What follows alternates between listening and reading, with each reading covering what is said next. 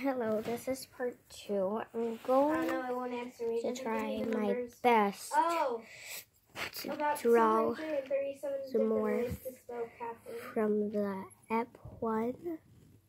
This is app two. Probably And I'm though. sorry I didn't put app one on the first one.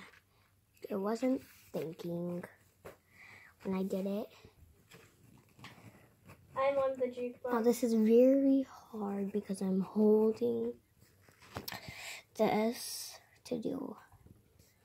what about me standing on this jukebox? Almost there. Just gotta connect the lines. Now that you have Look at me in the game. I'm standing on a jukebox. you want to grab like the left part and bring it down like this to the to the middle. And after you've done that, you take it and go off. Then from that, you go like a little off like that, and then go over there. Again, this is very hard because I have my phone in my hands. So it looks bad. I'm sorry. So now a little up.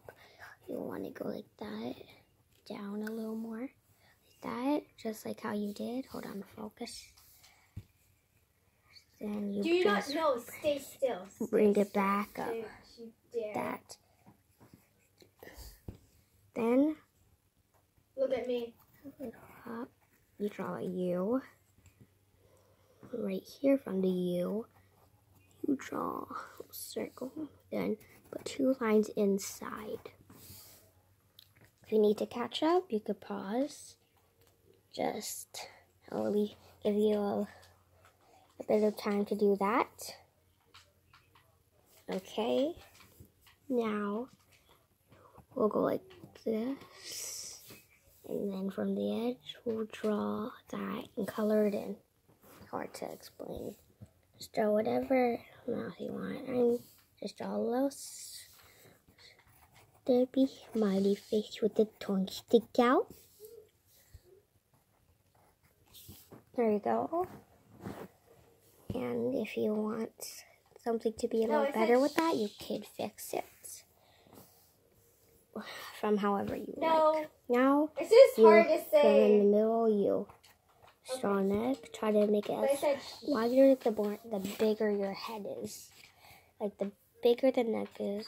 If it's if the head's big, then make your your your neck a little big.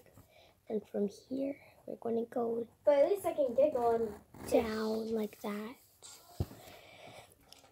Then repeat. Just like that. Your drawing should look like this. Now we're just gonna go like this. Like you're gonna make a circle, but then put a line down. We're gonna copy the same step over here.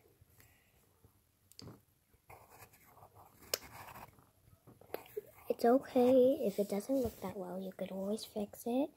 If the hand looks a little big to you, you could fix it. But I think it's okay.